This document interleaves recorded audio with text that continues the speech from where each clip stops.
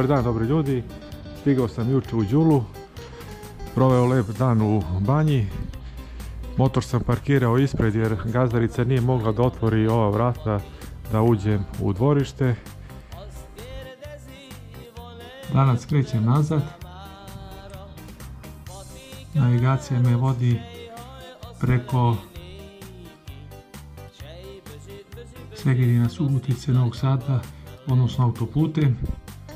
Nekih 4 sata vožnje, 340 km.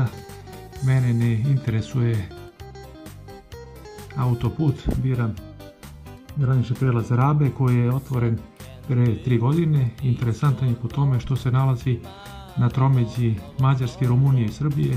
Do njega imam 114 km. Posle nastavljam put preko Sente Bečeja, Šajkaša i tu ne izlazim na autoput i onda lagano do Beograda.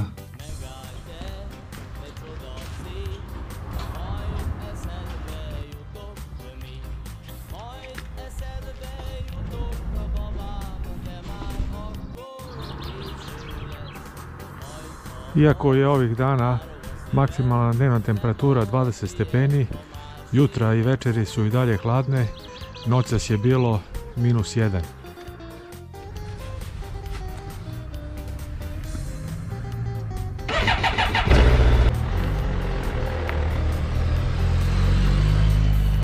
Vreme je vedro i sunčano, prijatno za vožnju, nema gužve.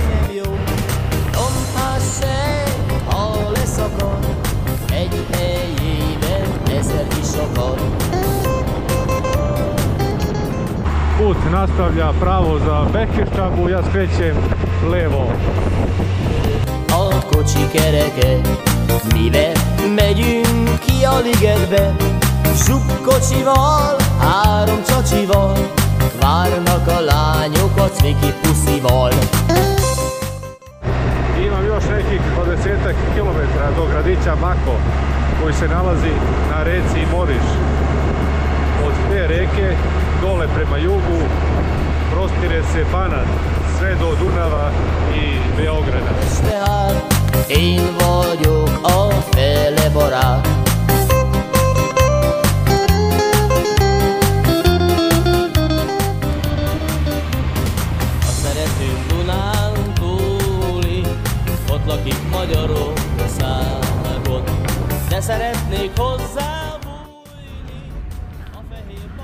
Veliki centar grada, ali stvarno nigdje nisam primetio baš ni jedan ugostiteljski objekat.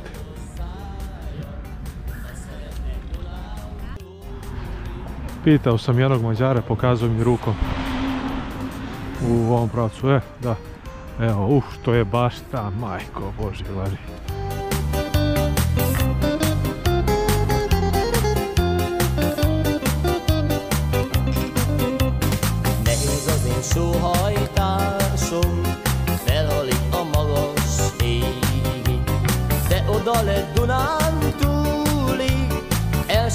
Meg nem is értik. Posle kafe pauze, put nastavljam dalje prema Srbiji, graničnom prelazu Rabe. Po izlasku iz ovog grada prelazim preko mosta na reci Moriš i stupam na teritoriju Banata.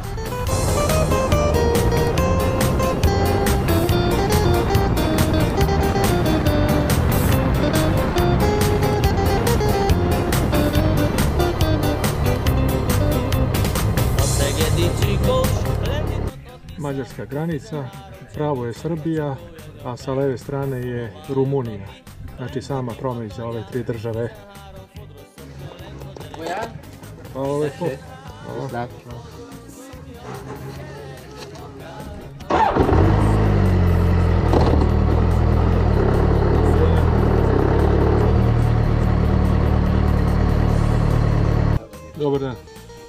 Tu je saobraćaj. Lične stvari, ne ništa specijalno. Idem iz Đule, bio sam. Bio sam. Naravno.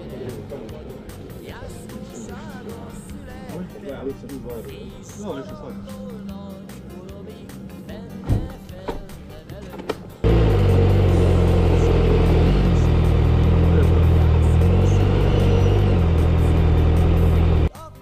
Kamen koji obeležava tromeđu.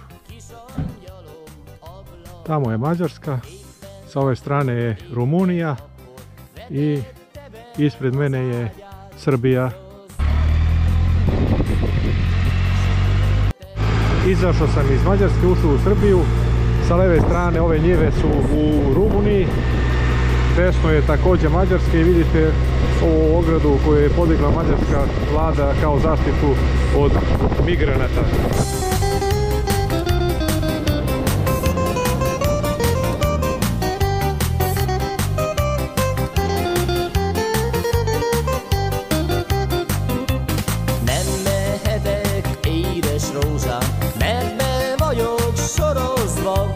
Nyírbátori nagy kaszárnya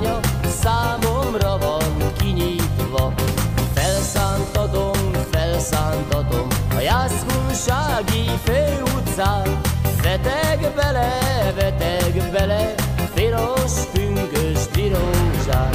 Mert az a föld, a fekete föld, piros rózsát teremne. Posle ulaska u Srbiju na graničnom prelazu Rabe, prošao sam kroz Novi Kneževac, Čoku i evo me sada u Senti. Evo, završio sam ručak, bio je odličan, poručio sam dnevni meni, put nastavljam dalje, prema Bečeju i Šajkašu, gdje izlazim na autoput i dalje dole za Beograd. Ti 700, u redu je, super je bio ručak, Hvala ti puno. odličan.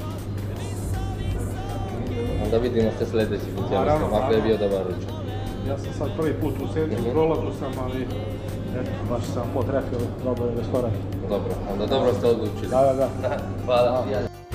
16.00 temperatura 21 stepen. E to bicikla, šta je to?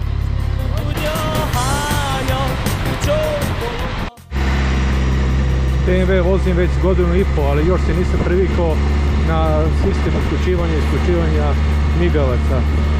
Levi migavac se pali dugmeta s leve strane, desni pomoću dugmeta sa desne strane, a isključuju ih od ovo dugme. Također mislim da nije ni najsrećnije rešeno blicanje i upotreba sirene. Nekako je to mnogo jednostavnije, lakše kod japanskih motocikala.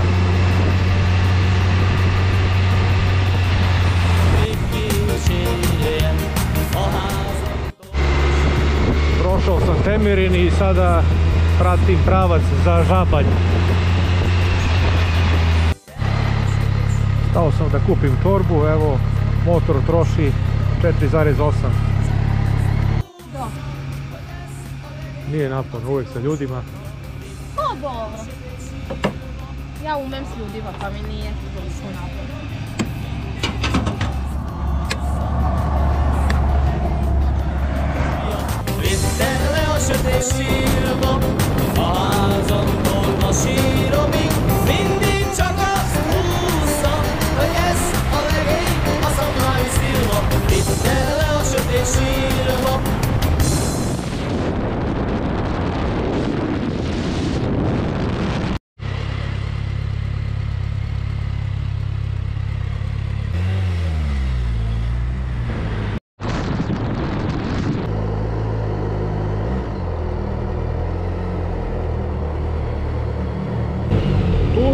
660 km. Šta reći za kraj, osim da je bilo kratko, ali slatko. Ćao!